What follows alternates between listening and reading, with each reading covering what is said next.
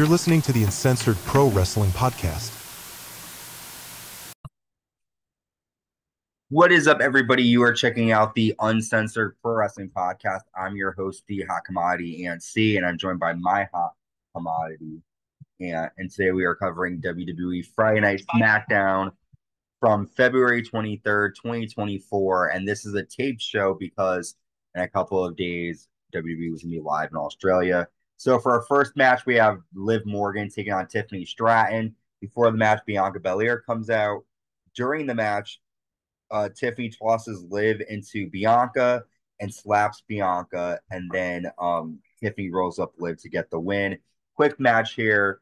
Um, and this SmackDown, we're not going to give a lot of information because it was just a basic tape show. Nothing really special happened. We'll cover more as we cover Elimination Chamber. Next, we see Bobby Lashley confronting Drew McIntyre backstage. We see the bloodline backstage, and Jimmy tells Roman that Paul Heyman told them to do the play on Raw by attacking Jim Jay. Roman laughs and says that he's the one that created that play. And then Paul Heyman shows up and tells Roman that Grayson Waller is here to talk to him. We then see Bron Breakker defeat Dante Chen after a spear. A good victory there for Bron Breakker in his debut on SmackDown. Next, we have Tyler Bate and Pete Dunne defeating Dominik Mysterio and JD McDonagh.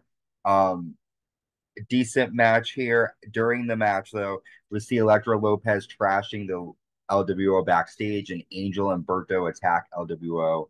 Um, and pretty much after the match, Tyler Bate and Pete Dunne take out Judgment Day.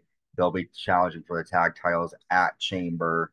So more developments there. We see Dakota Kai is being held backstage. It looked like she was attacked.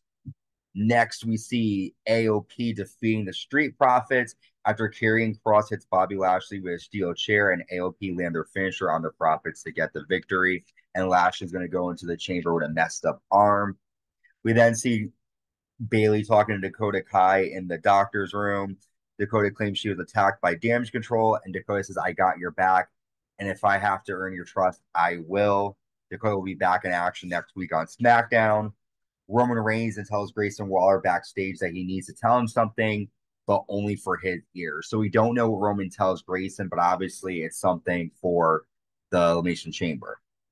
Next, we have LA Knight versus Drew McIntyre.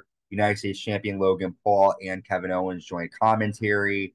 The match is rolled a no contest after Logan, Kevin, Lashley, and Drew McIntyre all brawl Bobby Lashley is left standing until Drew lands a Claymore, and then Randy Orton comes out of nowhere and lays out Drew McIntyre with an RKO.